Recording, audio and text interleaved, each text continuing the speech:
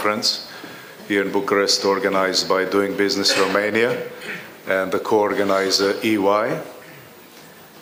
I'm very pleased uh, that we will have a robust discussion this morning with a very distinguished uh, panel. There are a number of topics uh, for this opening session, and we are looking at things ranging from Romanian business and economic outlook all the way uh, to the energy uh, revolution and where the energy markets are going. But in between, of course, we will talk about investment trends and where Romania is heading in terms of its competitiveness as well, and setting the scene to some extent also for the second panel, which will follow after us. I would like to also, on behalf of the organizers, uh, thank all the sponsors, partners, supporting organizations, and media partners who have made this event possible. And uh, let me also say that this is a bilingual event. There are also translation kits in the back, and if you need translation, Romanian, English, or backwards, uh, please uh, use those kits in the back. Uh, they are provided uh, over there. Let me introduce the panel first, and then I will make a few very short remarks about Romania's place in the global economy and in the European context, and then we will turn to the panel. So on the panel we have uh, Catalin Pauna, who is the country economist for the World Bank, Bogdan Ion, who is the country managing partner of EY, Romania and Moldova, Mr. Ludwik Sobolewski, who is the CEO of the Bucharest Stock Exchange. On my left, uh, Mrs. Daniela Lulache, who is the CEO of Nuclearelectrica. Uh, on the far almost on the far left, Ion uh, Dumitru, Chairman of the Fiscal Council. And uh, on the very far left, Marius Dan, Investor Relations Director for Franklin Templeton Investments. So all of these uh, uh, panelists will be looking at the topics that I mentioned, and of course, uh, Mrs. Lulache will be the lead on the energy discussion towards the end of this panel. First, we will of course look at the Romanian economic, macroeconomic developments, but let me uh, first say a few words about how we see in our business practice our clients looking at Romania and in fact how Romania fits at the moment in some of the global trends. Just to let you know, uh, at the moment, a quick scan of the world uh, indicates that Romania is not doing badly uh, compared to many other markets uh, on the planet. In fact, uh, if I give you a quick tour of the developed markets, what is encouraging ultimately for Eastern Europe and Romania is that the US market is growing okay. It's doing around 2.5% growth, which for the size of the economy and accounting for more than a quarter of global GDP at market exchange rates, uh, this is a very encouraging sign for the global economy, and in fact, it's helping European exporters export more to the US. And so any investments that exist for exports related businesses in Romania are of course uh, doing quite well, uh, being linked into that European supply chain, ultimately ending up in markets that are growing, uh, like the United States. So that's good news. US is growing and it probably will continue growing reasonably well and the US dollar likely to keep strengthening in the coming year or two with the normalization of monetary policy by the Federal Reserve at some stage. The, there is some solid, uh, finally, after many years, some solid encouraging news related to the Eurozone uh, economies as well hopefully there will be a real impact uh, from the upcoming quantitative easing program that the European Central Bank uh, will start in March. The idea behind this, and already we have seen some impact from this, which ultimately does have a benefit for the Romanian economy. When Eurozone does well, so do most of the Central European markets, and that's good news. So the impact has already been positive to some extent.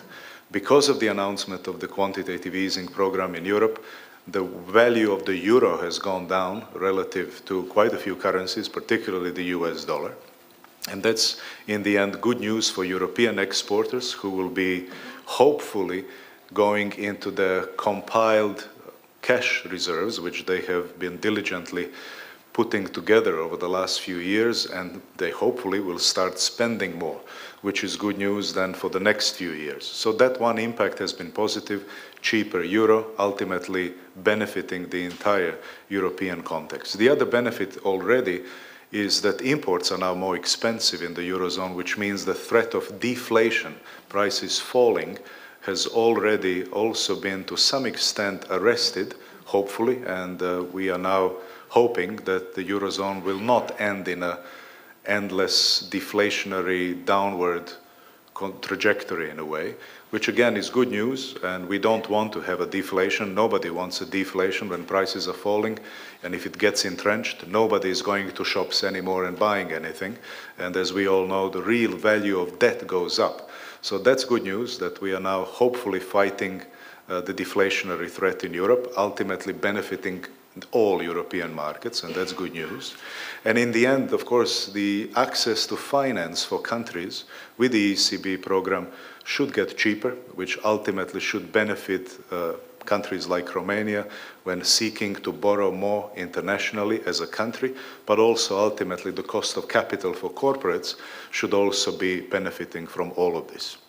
Because this quantitative easing program in Europe is uh, partly uh, basically buying bonds in the secondary market from financial institutions, the idea is that when they sell their bonds to the ECB, uh, that, or actually their national central banks, in the end, uh, hopefully, the new cash which they get, they will be channeling into more lending, which, by the way, has been very dormant and difficult in the Eurozone, and lending has not been growing, as you know, and we know that is a, also a negative trend in Romania, which I will ask our panel to comment on, why lending in real terms keeps uh, shrinking in Romania. But this is, by the way, a Europe-wide trend, and hopefully this change at the ECB level will also have a positive impact. Plus, of course, in Romania itself, with expected further cuts in interest rates, hopefully we will see a revival of lending here, just as we're expecting a little bit of pickup in lending in the Eurozone economies uh, as well. So there is some silver lining, a little bit of hope for the Eurozone economy genuinely starting to pick up, and hopefully we will see growth uh, in 2015, which will be around 1%, hopefully a little bit more than that, which will be encouraging and ultimately good news for anybody uh, doing business in Romania, any exporters from Romania, and so forth. The other economy, which is an important one globally, uh, Japan, uh, it's about almost 9% of global GDP. It's a significant one. It's also picking up now, but mostly because of exports. But it's again good news that after their big quantitative easing program, there's a bit of growth there. So in a way, uh, the global uh, picture in the developed markets is looking not bad. Uh, it's actually a little bit more encouraging than we have seen over the last few years, as you know, which have all been very challenging for business and for economic growth. In emerging markets, it's Asia actually leading the way. We are seeing still very solid expansion growth rates of around 6%, which we all remember Eastern Europe enjoyed back in 2006 and 2007. And so Asia continues to power along very well. Most of our clients, and uh, we work with more than 400 corporations, doing business uh, in emerging markets at the moment, I can tell you most of them are still prioritizing Asia, emerging Asia, for their business development investments, foreign direct investments, and so on. So, in a way, competition for Romania is not only uh, with Hungary or Slovakia or Poland in terms of attracting foreign investment or moving up the competitiveness rankings, but you have to beat just about everybody in the world in the end and set the benchmark very high. And of course, Asia is powering along, and it's very difficult to compete against some of those uh, markets which are growing very strongly, and even India is now over 7% growth, and Indonesia at 6 and Vietnam at almost 7 These are very fast-growing markets. Uh, the, the news is also still good in Middle East and Africa. Markets are doing solidly there, growing 4 or 5% a year, and corporations very attracted to that part of the world. Latin America is slow, and Eastern Europe is slow uh, overall uh, in terms of economic growth. Now, Eastern Europe, uh, and I will come to Romania in a second, but just to give you the regional context here, which is uh, still overall relatively difficult. we are dealing with many heads of East European operations uh, within our client companies. And uh, for the last six years, I have been calling them CEOs, the Chief Explanation Officers, uh, people who have been trying to explain to their global boards why their results in Eastern Europe now for six years are underperforming Asia, underperforming Middle East, underperforming Africa, and even uh, Latin America, despite all the troubles in Brazil and a few other markets. And uh, that has now been for quite some time. And this is a big change because between 98 and 2008, Central and Eastern Europe was the fastest growing part of the planet Earth, and it was the biggest recipient per capita of foreign direct investment flows. And for our clients, everybody was largely growing in very solid double digits. This has not been the case in the last six years. We had a big meeting uh, with our corporate clients in Vienna in December I can tell you more than 90% of our corporate clients, and they're all very large multinationals, actually missed their budgets in 2014. And that's uh, the worst result we have seen in six years, and largely this is uh, because mainly the problems are in Russia and Ukraine. The volume uh, that everybody was budgeting for simply didn't come in. The numbers are devastatingly bad, particularly in Ukraine, and getting much worse in Russia. So for many regional presidents of large companies, Eastern Europe was a headache last year, and the growth they were able to generate in Poland, Czech Republic, Hungary, Slovakia, Romania, little bit in Bulgaria, little bit in Slovenia, or little bit in the Baltic states has not been able to compensate for revenue shortfalls that exist further east. And of course, also the impact of the devaluation in Kazakhstan hit many companies, and that was a sizable one overnight. And there will be another one, by the way, uh, coming up sometime in 2015. So corporate expectations for this year, 2015, are, have changed significantly as well companies have downgraded their overall CEE growth expectations, but they have increased the expectations for the markets like Romania. Uh, so country managers in this room running multinational corporations this year will be getting more phone calls from their heads of EMEA or global directors saying, give me more from Romania because we are bleeding in Russia and Ukraine. Uh, the same fate uh, will also be hitting heads of Poland, heads of Czech, heads of Slovakia, heads of Hungary.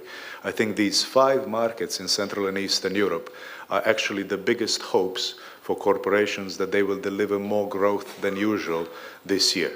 So any of you who are running uh, country operations in Romania expect more pressure uh, to rise on you and managing expectations, I think will be one of the most important things uh, you will have to do with your regional presidents uh, during this year.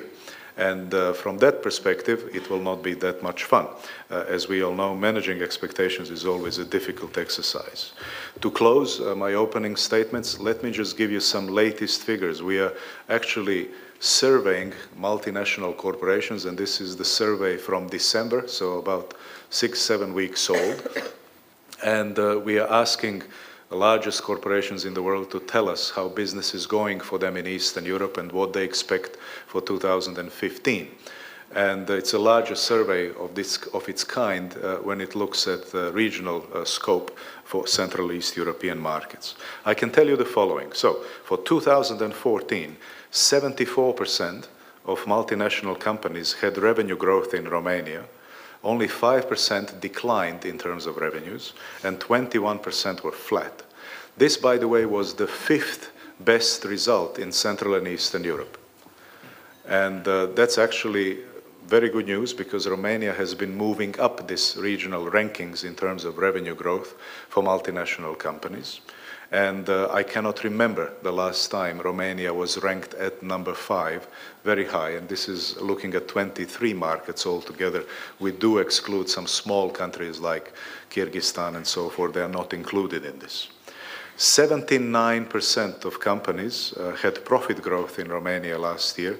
Only 6% declined, and 15% were flat, which, interestingly enough, uh, was the second best result in CE after Turkey and uh, also an all-time high in terms of regional rankings for Romania. Now, needless to say, this is attracting corporate attention, and that's why that's maybe another reason why so many of you will get even more phone calls from your guys to say, can you squeeze a bit more from the Romanian business because we are bleeding in Russia and Ukraine. To give it you also the results by sector, consumer goods companies, 83% had revenue growth last year, which was the second best result in Central Eastern Europe after Turkey as well. It was mostly a mix of single digit growth and almost all companies had profit growth last year. In terms of food and beverages, around 60% of companies had uh, top line growth, which was among the worst, by the way, in Central Eastern Europe, interestingly enough, but over 70% had profit growth. For industrial B2B companies who are selling into these export supply chains and so forth, 77% of companies had revenue growth, which was number eight ranking for Eastern Europe, and it was very similar, by the way, for profit growth for pharmaceuticals and healthcare sector, putting together pharma companies, medical devices, everybody in, under one umbrella. 79% of companies had revenue growth in Romania last year, which was the fifth best result in Eastern Europe. And uh, just under 65% of companies had profit growth. And on the IT side, about two-thirds of companies, roughly speaking, enjoyed revenue growth and profit growth as well. Now, what's interesting is the expectations for 2015 are even better. Over 80% of companies expect top line growth, uh, but only 18% of companies expect to grow in double digits. So mostly it's single digit growth, which by the way is exactly the case in other markets in Central Europe. But over 90%, 93% of companies expect profit growth, which is, interestingly, the best in Central and Eastern Europe but only 12% of companies expect double-digit profit growth. Mostly expectations are in lower single digits, in fact. For our clients, uh, large multinational companies, Romania is now number six priority market for new business development investments in Central Eastern Europe. It is actually the fifth in terms of hiring intentions so many companies in our group plan to hire more people in Romania in the next 12 months. However, at the same time, a negative trend is that 36% of companies see their clients and customers buying cheaper brands, downtrading, which is, by the way, the fourth worst result uh, in the whole of Central and Eastern Europe. And also 19% of companies have difficulties collecting receivables which is the seventh worst result in Eastern Europe. At the same time, only 3% of companies plan to cut their staff costs or sales or marketing costs. So overall, I would say it's a mostly positive picture, which, by the way, fits well, I think, with the economic outlook, outlook which we will look at at the moment. But uh, it seems we are on the good way to generate a sustainable 3, 3.5% growth. I will ask my panel to confirm whether they agree with this or not, which is, by the way, similar to Poland and probably similar to what Hungary will achieve and better than Czech, better than Slovakia, better than Slovenia, better than Croatia or Serbia, better than the Baltic states, and certainly better than almost anything you will find further east in Russia CIS uh, territory. So in a way, in terms of economic growth, Romania will almost lead the way uh, in Central and Eastern Europe. At the same time, I think everybody is very aware that uh, we are still far away from some of the high growth rates that we had prior to the global crisis, but all of this uh, looks to me quite encouraging. Now, uh, let's start with our panel. And uh, as we agreed, I would uh, first turn to Mr. Ionut Dumitru, who is the chairman of the Fiscal Council, who has actually prepared a few slides for you and uh, will show you a few, um, few points related to the macroeconomic outlook and, of course, in his capacity as a chief economist of the Raiffeisen Bank Romania. Uh, please. Okay, so thank you. Uh, yeah, I will try to to put on the table some, uh, some graphs and some data to, to set the stage for discussions. Basically, yeah, the economic recovery started a couple of years ago in Romania already after a sharp contraction in 2009. We are experiencing now a growth in GDP close to 2%, slightly above 2% in real terms if we exclude agriculture, agriculture being quite volatile. I think in order to see the, the underlying trends in the economy, we should exclude agriculture from our, our calculations. So we experienced before the crisis more than 7% growth in real terms. We are now facing an environment with slightly above 2% growth in, uh, in GDP excluding agriculture, which is still much below compared with the pre-crisis level, but compared with the other countries in the region, it's not so bad. Uh, Romania is still ranking uh, in the top of uh, CE countries in terms of uh, GDP growth, and uh, this is not bad at the European level as well. Why we are facing now a completely different environment in terms of GDP growth uh, outlook we are facing a completely different environment in terms of, G in terms of capital flows. This is the main explanation, in my view, why the, the economic outlook is completely different. Before the crisis, we had more than 15% growth, 15% of GDP, sorry, uh, capital flows coming to Romania, roughly 20 billion euros per year. We are now facing an environment with almost no capital flows. Actually, we are experiencing slight negative flows, meaning that there are some outflows in some sectors, especially in the banking sector. There is a quite an aggressive deleveraging process in the banking sector. We have a quite low level of FDI, but at the same time having outflows in the banking sector on a net basis. When we are speaking about long-term flows, we are experiencing now negative flows to Romania. I already mentioned that there is a deleveraging process in the banking sector. This is reflected in all components of lending, excluding mortgage lending. The only component of lending which is still growing is mortgage lending driven by Prima Casa, the first, first house governmental program with a state guarantee of 50%. The other components are still on a downward trend, uh, especially consumer lending, which is on a downward trend since 2008. Uh, the households are repaying their debt, the debt service is decreasing, which is a good thing, but uh, at the same time, the, the lending activity is quite weak. The macro picture is quite good compared with the other countries in, uh, in Europe, uh, especially the current account is now much more sustainable. It's close to 1% deficit, close to zero, I would say. Uh, the budget deficit is again quite, uh, quite low, below 2% uh, which is, again, very good compared with the other countries in Europe. Domestic demand recovered significantly in the last couple of quarters, especially consume, uh, consumption, which is now quite close to the trend, the medium-term trend. You can see that before the crisis we had uh, an exuberant behavior there was a kind of a bubble, both in terms of consumption, but also in terms of investment activity. Look at the second graph. In terms of investment activity, it was a huge bubble, I would say, driven mainly by the construction sector. Unfortunately, the, the investment activity is not picking up yet. Uh, the investment activity suffered significantly, especially in the public sector. There was a big contraction in, uh, in the public sector in investment activity in the last two years, and in the private sector, there is not too much activity as well.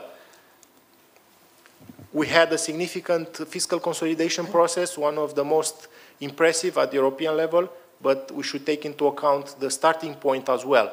At the onset of the crisis, Romania had one of the highest budget deficits in Europe. Of course, we had to adjust that deficit, and uh, the main driver of that was the cut in expenditures. Now we are stabilizing at around 2% deficit, maybe slightly below 2%. We need to, to cut further the deficit in the next years according with our commitments at the European level. Uh, the progress in terms of macroeconomic adjustment was rewarded by investors. Romania is paying now record low interest rate for public debt and uh, the, the, the, rating agency S&P decided to upgrade Romania to investment uh, grade status, which is again a good thing. Romania, for instance, is paying now uh, close to 3% interest rate for 10-year uh, treasury securities, which is uh, something unbelievable. So basically, Romania is in a very good position. Of course, there is plenty of liquidity at the global level, but Romania has a quite a, uh, a positive image in, uh, in terms of uh, investors, investor perception, and this is quite, quite good, I would say. Inflation is clo clo close to zero now. Maybe in the next couple of months we'll uh, touch a little bit the negative territory, which is, again, very new for a country like Romania. But afterwards there should be a pickup in inflation towards 1.5, maybe 2% at the end of the year. So basically there is some room for the central bank left to further cut, cut the interest rate. The labor market conditions are improving, I would say. Uh, unemployment is slightly going down. Uh, at the same time, disposable income is going up with around 5% in real terms. Uh, the, the number of employees multiplied by the, by the average wage is growing with around 5% in real terms, driven mainly by wage increases, but also by the increase in uh, number of employees. Of course, we are coming from a period with minus 10, minus 15% in the previous years, but 5% growth in disposable income in real terms is quite strong. At the same time, I think the, the best news we have is the improvement in consumer confidence in the last uh, graph, driven mainly by the unemployment expectations, which are improving, and the perception of the economic situation, which is again improving. Maybe there is some correlation with the results of the presidential elections as well, uh, but I think it's more related to the interest rate environment uh, and uh, yeah, there is more appetite for, for spending at the consumer level, which should support consumption in the coming period and this should be positive for, for the growth outlook. We are expecting to see in 2014, uh, 15, 16, a growth close to 3%, which is quite strong but still much lower compared with the pre-crisis level. But at the European level, it's quite strong to have a growth of 3%.